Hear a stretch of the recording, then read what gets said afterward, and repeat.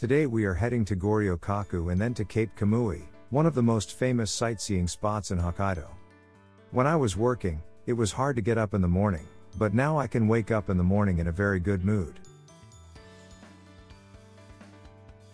The reason why Goryokaku is pentagonal is that a round or square shape would create an angle where the defender could not see when they are attacked. This method of construction is widely used in Europe.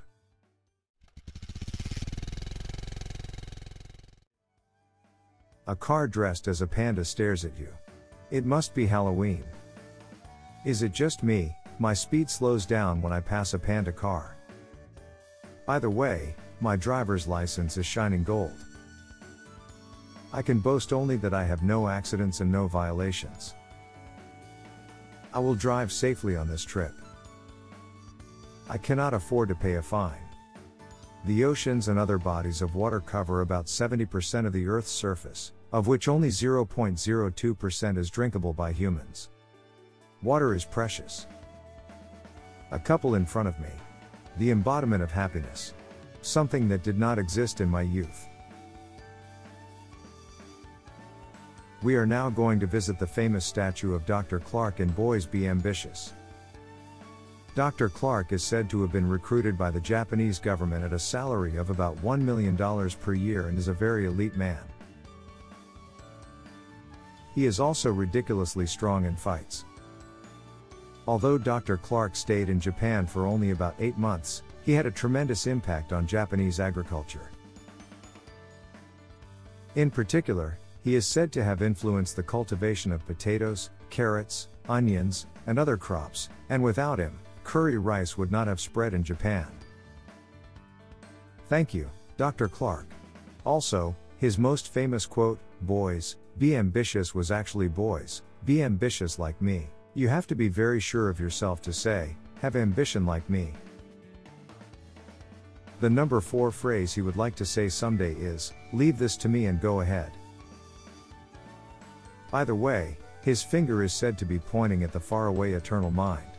I don't understand what smart people say. Next, we headed for the Hokkaido Museum of Development. I have nothing special to say.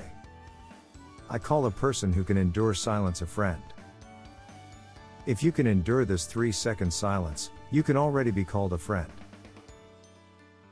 Now that we've become friends, let me tell you the story behind this channel.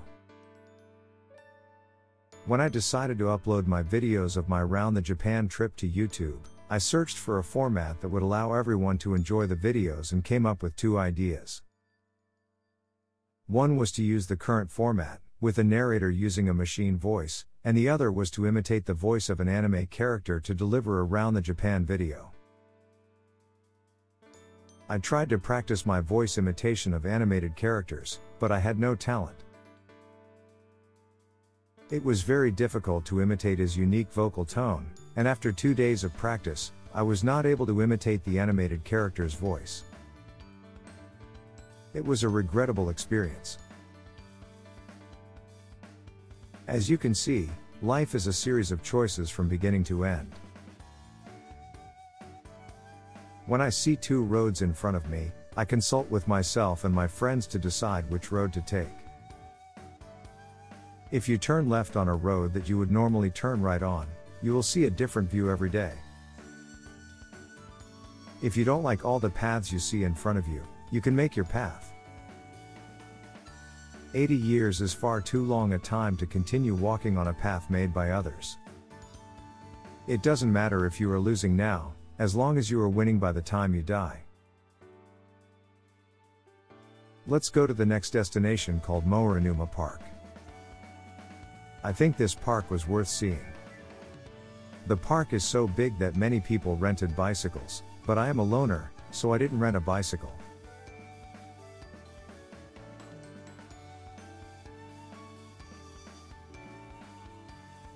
I recommend you to go to this tourist spot with a good heart because more than 90% of the visitors are couples or families. I apologize for assuming that everyone watching this video is a loner, but that is probably true. You are the only one who should be on my side. This park is famous for its long staircases. There was even a pyramid like place where the grandparents' generation would end up looking up from below.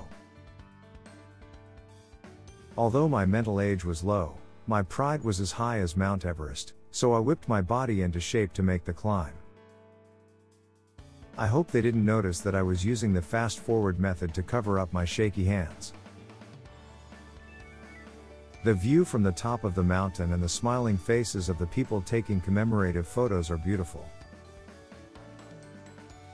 I don't mind helping university students take pictures. Next, we head to Cape Kamui. It is said that Cape Kamui is the Japanese version of the Great Wall of China, and the scenery is breathtaking. Incidentally, it used to be a place where women were not allowed to enter.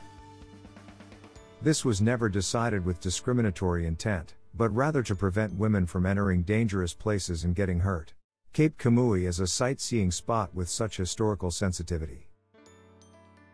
Here is a typical Hokkaido experience. In Hokkaido, nature is so magnificent that insects repeatedly hit my helmet while riding a motorcycle.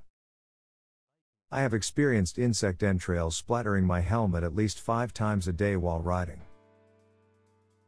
It takes quite a long time to walk from the parking lot to Cape Kamui, so it is best to allow plenty of time for your visit. Also, the footing is not good in many places, so women are advised to wear sneakers instead of heels. This is the reason why this area is called the top of Bali in Japan. The topography is unique, jutting out into the ocean, and even in Hokkaido, which is a treasure trove of nature, this kind of view is not seen in many places. It would be a shame to die without seeing such a wonderful and spectacular view in the country of my birth. This is what I wanted to see. After this, I headed to a budget hotel in Sapporo. On the way there, I should have had a quick look at the Otaru Canal, but I didn't find a place to park my bike. People tend to think that it is easy to go anywhere on a motorcycle trip, but there are surprisingly few parking lots, and it often takes a long time to park. In the future, I would like to buy a camper and stay at a roadside station while visiting tourist spots.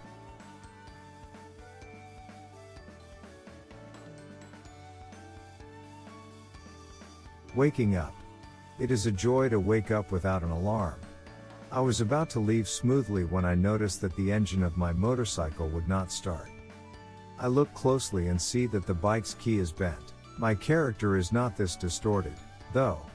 When you go on a round the Japan trip or a long trip, it is advisable to take a spare key with you.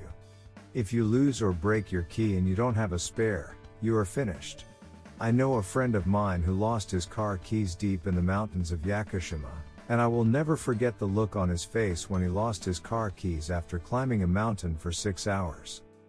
The most memorable thing about Yakushima was not the 4,000 year old Yakusugi cedar, but his 22 year old face. Finally, we headed for what is probably the most famous road in Hokkaido, the Ororon Line. This is the road from Sapporo to Wakkanai, the northernmost point of Hokkaido, and is also known as the Room of Spirit and Time because it is a straight line for more than 200 kilometers. It is recommended that you make something to pass the time during this time. You will be bored after 20 minutes. In the parking area, you will encounter many motorcycles. One of the most common reasons is that it is embarrassing to park next to a bike that is the same as yours. It is probably the same feeling you get when you get on a train wearing Uniqlo clothes and see someone else wearing the same clothes nearby. You buy from Uniqlo because you want to be safe, but you don't feel good when you wear the same clothes. In psychology, this contradiction is called the Uniqlo syndrome. Next time, we will upload part 3 of our Hokkaido trip. I will be more than happy if this video can help you pass the time and enjoy your daily life. See you in the next video.